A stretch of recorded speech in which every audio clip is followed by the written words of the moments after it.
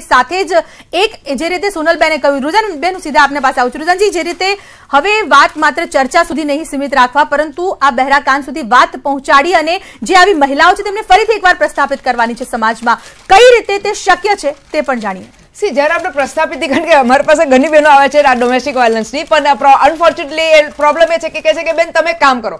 મારા પતિને જેલમાં મૂકી દો. એને જિંદગીભર જેલમાં રાખો. અમે અમારું છોકરું ને બચ્ચું સમજાય સમ- એટલે અમે પોતે કારણ કે એ બધી મહેન- મહેનત કરતી શ્રમિક બહેનો છે.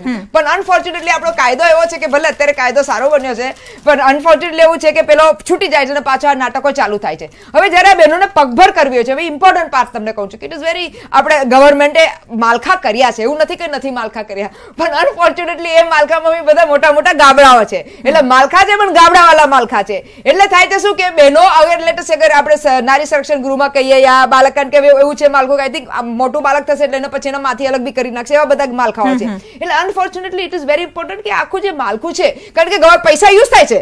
એ બી કહી દો અમે બજેટ વખતે આનું ડિસ્કશન કરી છે કે આટલા કરોડ થયા અને આટલા કરોડ યુઝ બી થઈ ગયા અને આ બન્યું ઓલું બન્યું તોલું બન્યું. પણ અનફોર્ચ્યુનેટલી માલખા વીક પડે છે. એટલે યુ નો આખી સિસ્ટમ ને processes are there but unfortunately there are loopholes બીજો ઇમ્પોર્ટન્ટ પોઈન્ટ મારે કેવો છે કે જેમ અત્યારે આ સાહેબ બધા બધા કહી રહ્યા છે મને બહુ ગમ્યું. બહુ સારું લાગ્યું. પણ જ્યારે બેને કીધું કે મેં મારા નેબર પાડોશીઓને વાત કરી તો પાડોશીઓ કોઈ વચ્ચે પડવા એ લોકો શા માટે ચૂપ રહ્યા? બસ બસ એ જ રુજાનજી આપણે એ જ મુદ્દાને લઈને આગળ વધીશું કે